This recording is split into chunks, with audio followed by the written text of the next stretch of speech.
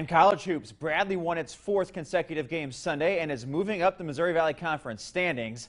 The Braves say that winning is breeding confidence.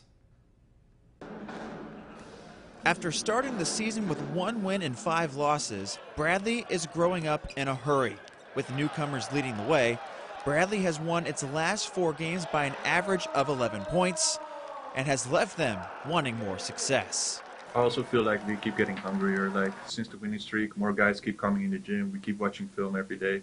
Like we're hungry for more and trying to keep getting better every day. Brian Wardle's Bradley teams have gone on big runs to end seasons, like in 2019 and 2020 when the Braves won the MVC tournaments. He says at this junction of the year, it's easy to lose focus on the task at hand, getting better every day. When you start winning games, everybody starts telling you, gets in your ear about, hey, you're good.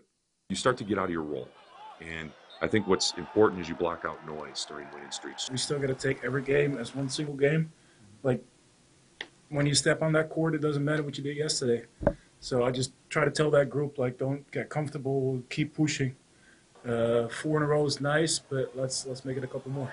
The Braves appear to be heading in the right direction, and confidence is high rolling into the second half of the conference season. We can beat anybody. We lost a lot of close games. We played a really good non conference schedule. Um, we had a lot of newcomers playing, and, and, hopefully, we're learning how to win. And then, boom, tweaking some things and getting re energized for Wednesday night because we're going to have to play better at Northern Iowa, and we know that. Bradley is now just one and a half games outside of first place in the conference. Briefly, some nice